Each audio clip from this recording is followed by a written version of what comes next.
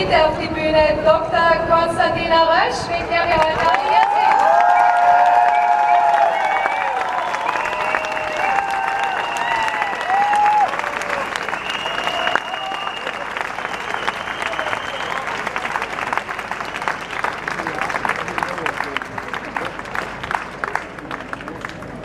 Danke. Ja, grüß euch. Vielen, vielen Dank. Ihr seid die Besten. Der Dank gebührt euch, nicht mir. Weil wir sind alle nur einzeln. Aber ihr seid ganz viele. Ich bin einer, aber ihr seid viele. Und ich werde oft gefragt, ja, was kann man machen als Einzelner? Ja, jeder ist nur einzeln. Aber ihr seht eh, wir sind, wir sind viele und ich danke euch wirklich für den Zuspruch, den ich kriege. Das ermutigt mich auch, weil es ist in diesen Zeiten gar nicht so einfach, Menschen zu treffen, die noch alle Tassen im Schrank haben.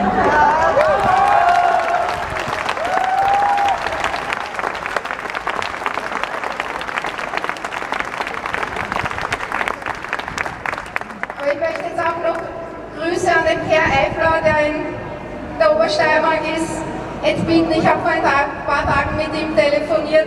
Also er hat es nicht geschafft zu kommen, weil er ganz viel um die Ohren hat, aber wir grüßen dich, Per, und wir sind in Gedanken auch bei dir, weil was da passiert ist mit dir ist eine Sauerei und du bist total stark und gefestigt, aber ich habe gesehen, wie dir das angegangen ist, aber wir stehen alle hinter dir und wenn du was brauchst, ich bin mir sicher, jeder Einzelne da, da kannst du hinkommen und wir lassen dich auf gar keinen Fall im Stich.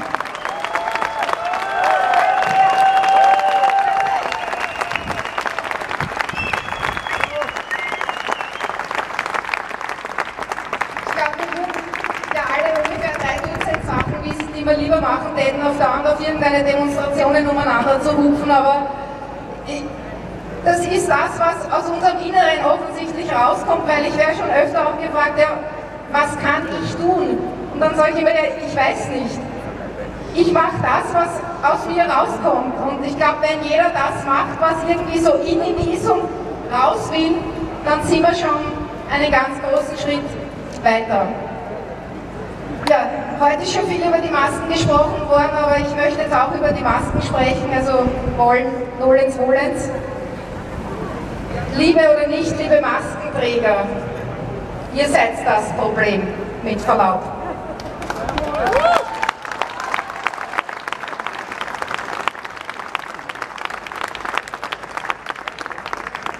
Das Problem ist nicht eine Verordnung oder ein Gesetz oder ein Erlass, sondern das Problem sind die, die es blind befolgen, die vielleicht gar nicht einmal nachlesen, was da drinnen steht. Die Maske ist ein Symbol, das hat die Regierung ja selbst schon gesagt. Ich glaube, wir brauchen uns nicht mehr darüber zu unterhalten, dass eine dieser dreckige Fetzen, anders bezeichne ich es nicht mehr, eine Barriere für Viren dasteht. Also jeder, der das behauptet, ist entweder falsch informiert oder er informiert falsch oder vielleicht lügt auch. Also die Sache ist sowieso vom Tisch. Also wozu ist das Teil dann gut? Es ist, ein, es ist ein Symbol und sonst ist es nichts. Aber ich werde es jetzt einmal ein bisschen von der naturwissenschaftlichen Seite aufrollen. Das hat einen Grund, warum der Mensch abatmet, warum wir alle ins Freie atmen. Wir atmen Kohlendioxid, CO2 ab. Das hat einen Grund. Und wir atmen auch Mikroorganismen meistens ab. Und das hat auch einen Grund, weil die fallen dann irgendwo unter und denaturieren und sind, sofern man ansteckende Erkrankungen hat, dann nicht mehr ansteckend. Aber das Problem ist das Kohlendioxid. Wer kriegt den Kopfweh von den Fetzen? Wem wird schwindelig? Wer ist schon mal umgefallen? Wem wird es überhaupt komisch und hat Konzentrationsschwierigkeiten? Ich sage euch was, jeder Mensch bekommt das, weil das ist Physio die physiologische Antwort auf eine Kohlendioxidvergiftung. Wir haben Messungen gemacht, also wir, ein lieber Freund von mir, hallo Klaus, hat eine Messung gemacht, wie hoch die Kohlendioxidkonzentration in dieser Maske ist nach wenigen Minuten. Die überschreitet den Grenzwert um sechs bis siebenfache binnen weniger Minuten. Also das ist kein Wunder, dass es dann komisch wird. Der Grenzwert für Raumluft laut Arbeitsinspektorat liegt bei 0,5 Volux Prozent. Also wenn der Arbeitsinspektor kommt und das in deinem Betrieb ist, dass ihr da eine erhöhte Konzentration habt, na dann öher. Aber dass man das unter den Masken jeder vor sich herträgt, das scheint offensichtlich egal zu sein. Naja, man schreitet zum Äußersten und schreibt dem Arbeitsinspektorat einen Brief und fragt, ja, liebe Freunde, wie ist denn das jetzt eigentlich mit dieser massivsten Grenzwertüberschreitung? Wisst ihr, was die Antwort war? Uh, da sind wir nicht zuständig. Ui, ui, ui. Was sagt uns das? Auf den Punkt getroffen, denn nur getroffene Hunde bellen. Und was lernen wir daraus? Das Arbeitsinspektorat ist also für seine eigenen Agenten nicht zuständig. Naja, ohne Worte. Und noch weiter zum Kohlendioxid. Also wie gesagt, das ist eigentlich giftig in höherer Konzentration und vielleicht erinnern sich manche, ich meine, jetzt ist das nicht mehr so üblich, aber früher hat man das manchmal gemacht mit Leuten, die sich sehr aufregen, die sehr erregt sind, die hat man in einen Sack atmen lassen. Ja, und was ist dann passiert? Die haben ihr eigenes Kohlendioxid zurückgeatmet und sind dann ruhig geworden. Warum? Weil das eine narkotisierende Wirkung hat in höherer Dosis. Jede Ärztin, jeder Arzt, alle, die im medizinischen Bereich oder auch im naturwissenschaftlichen Bereich im weiteren Sinne tätig sind, sind, er weiß, was Hyperkapnie heißt, er weiß, was CO2-Narkose heißt. Und genau das ist es, was permanent passiert, wenn man diese Masken aufhat. Erwachsene werden dadurch schon geschädigt, aber jetzt frage ich euch, was ist mit den Kindern?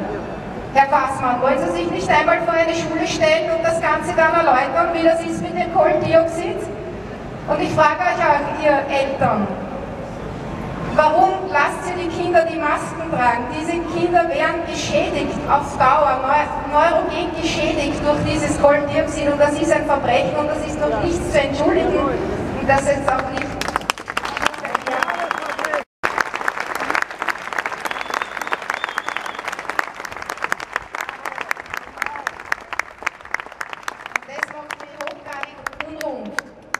weil die Mary die Lehrerinnen angesprochen hat.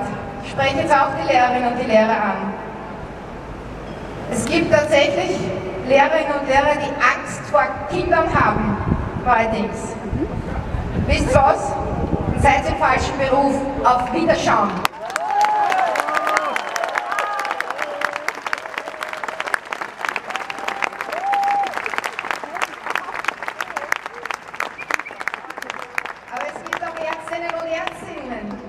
Und Ärztinnen und Ärztinnen und Ärztinnen, die Angst vor dem Patienten haben.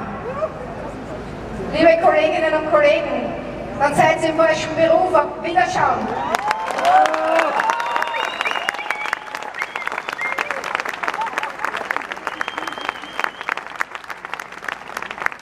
Für die Politikerinnen und Politiker gilt das Gleiche. Wer uns schadet, der ist in der Politik völlig fehl am Platz und das wird auch noch Konsequenzen zeitigen, auch wenn das manche bis jetzt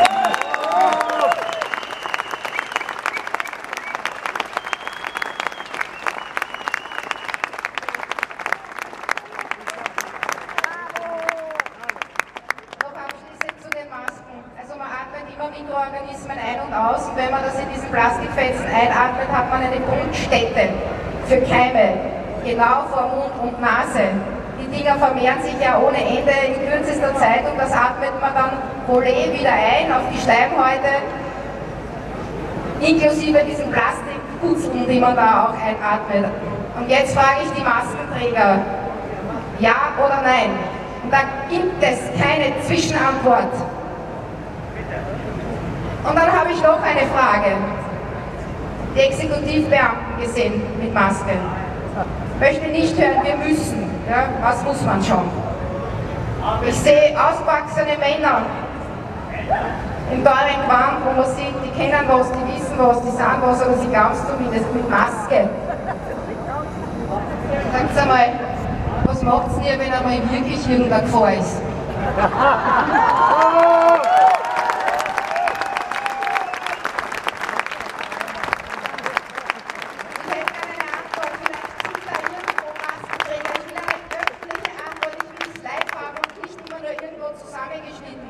Was tut ihr mit euren Masken? Die hilft gegen nichts. Ja? Was macht ihr, wenn einmal wirklich ihr irgendeine Gefahr ist, vor der irgendwer geschützt werden muss, muss sie dann die Natascha hinstellen mit ihren 50 Kilo, müssen dann die Kinder und die Frauen oder die alten Leute hinstellen. Was ist mit euch? Wo ist denn euer Mut? Und ich höre immer wieder,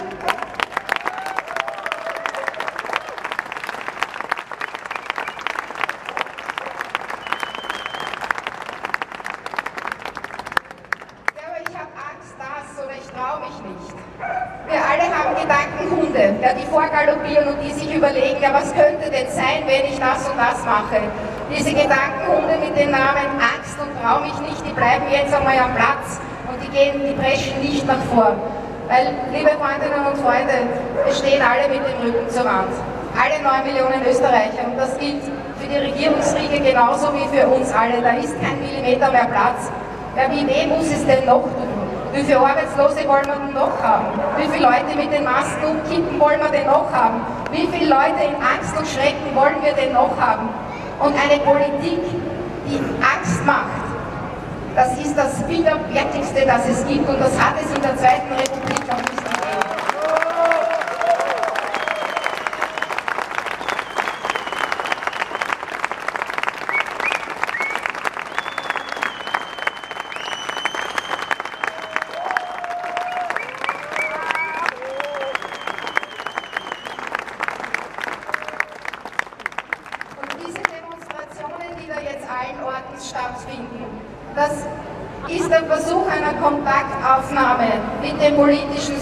das den Dialog verweigert. Wo sind denn die Politikerinnen und Politiker? Und ich fordere jetzt zum wiederholten Mal auf, stellt euch einer öffentlichen Debatte, das wird live gestreamt und das geht durchs Netz. Und da gibt es keinen doppelten Boden, da gibt es keine Inszenierung, da gibt es nur live Rede und Antwort. Und ich höre so viele grausliche Geschichten, vor allem aus den Schulen auch, wie die Kinder drangsaliert und fast möchte ich schon sagen terrorisiert werden. Und die Leute wenden sich an uns und bitte hilf mir, was, was kann ich tun? Herr Passmann, Herr Passmann, hören Sie mich? Stellen Sie sich doch einmal vor so eine Schule oder in eine Schule und sprechen Sie mit den Eltern. Und dann stellen, stehen Sie Rede und Antwort, ob das in Ordnung ist, dass Kinder terrorisiert werden, dass alle in Angst und Schrecken versetzt werden, dass die Kinder mit den Masken geschädigt werden, dass die nicht mehr entschuldigen wollen, dass die Eltern verzweifelt sind, dass sie die Lehrer vor völlig ominösen Dingen fürchten. Herr Passmann, Sie sind verantwortlich dafür. Jetzt stellen Sie sich dort einmal hin.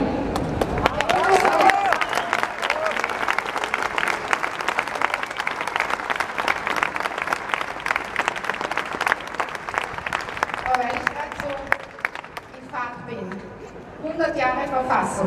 Ich habe die Rede des Bundespräsidenten nachgelesen in den Salzburger Nachrichten. Herr van der Bellen, die nötigen Einschränkungen im Zuge der Corona-Pandemie waren leider eine Zumutung. Da sind schon ein paar Fälle in dem Satz, Herr van der Bellen. Diese Einschränkungen waren nicht nötig. Sie waren sogar verfassungswidrig.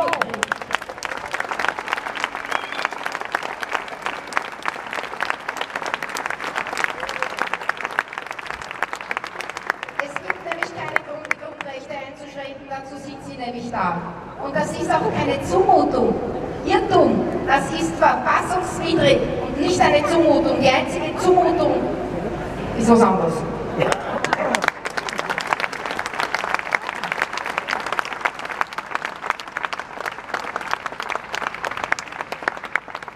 hat er auch eine Frage gestellt, eine rhetorische.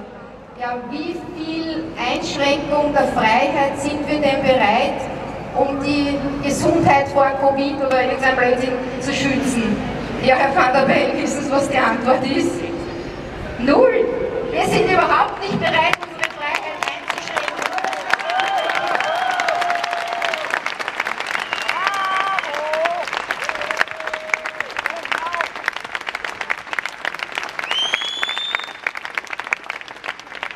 Dann geht es noch weiter im Text das richtige Augenmaß weder in die eine noch in die andere Richtung darf man nicht verlieren, was die Grundrechte betrifft. Jetzt lassen wir uns das einmal auf der Zunge zergehen. Grundrechte in die eine oder andere Richtung. Geht's noch? Da gibt es keine Debatte darüber, ob diese Rechte zu viel gewährt werden oder zu wenig. Das ist eine Fragestellung, die ungeheuerlich ist. Und Herr van der Bellen, ich will es auch von Ihnen persönlich wissen. War das Absicht? Ich befürchte ja, weil Sie sind ein intelligenter, gebildeter Mensch. Wenn es nicht Absicht war, dann mag das vielleicht noch verzeihbar sein, aber dann möchte ich es auch aus Ihrem Mund hören. Aber wenn es Absicht war, dann stellen Sie sich auch öffentlich hin und sagen Sie das und diskutieren Sie das mit uns. Aber widerspruchslos hinnehmen tun wir das, aber hundertprozentig nicht.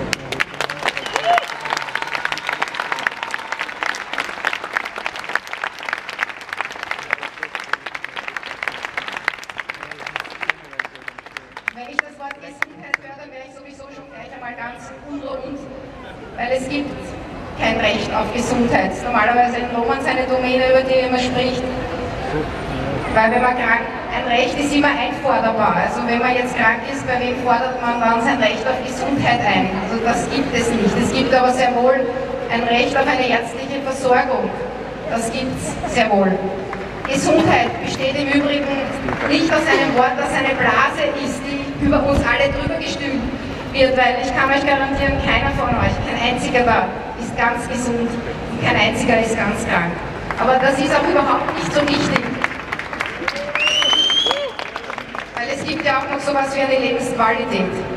Und die Lebensqualität und die, äh, die stetige Erhöhung der durchschnittlichen Lebenserwartung in den industrialisierten Ländern in den letzten Jahrzehnten, die ist nicht deshalb gekommen, weil wir ein Arbeitsverbot hatten, weil wir die Kinder drangsaliert haben, weil wir uns einen Maulkorb aufgesetzt haben, weil wir uns alle eingesperrt gehabt haben und Angst gehabt haben.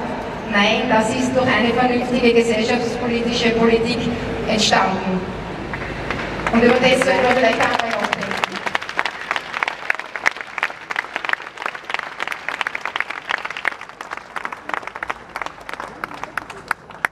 Kennen Sie das Märchen von des Kaisers neue Kleider? Der Kaiser will neue Kleider. Es ist aber kein Stoff da, aus irgendeinem Grund, um diese Kleider anzufertigen, aber alle Untertanen im Reich weben und nähen und sticken auf leeren Webstühlen, weben die Luft. Jeder weiß, dass er Schaß ist. Jeder weiß, dass das irgendwann einmal scheppern wird, aber man macht es halt. Und jeder sagt, uh, das ist aber schön. Man wirkt diese Kleider so schön der Kaiser schaut das an und sagt, aber das ist wirklich von allerfeinster Qualität. Ja, dann kommt der Tag der Anprobe und des Öffn der öffentlichen Zurschaustellung. Der Kaiser geht hinaus, die Menge schreit Oh und A und ein Kind sagt, aber der Kaiser ist ja nackt. Nicht werte Regierungsrede. Ihr seid Pudel nackert.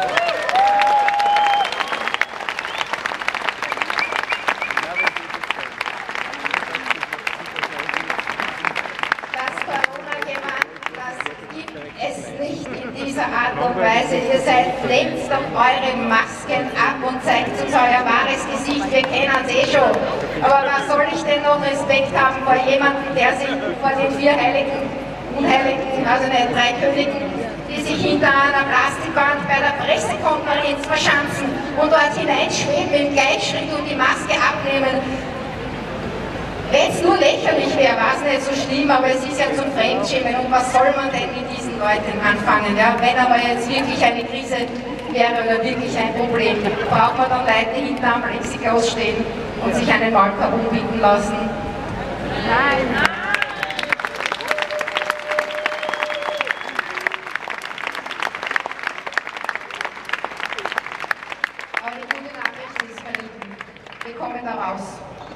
jedes politische Amt, jede Funktion, jedes Regime, jede Regierung hat einmal ein Ende.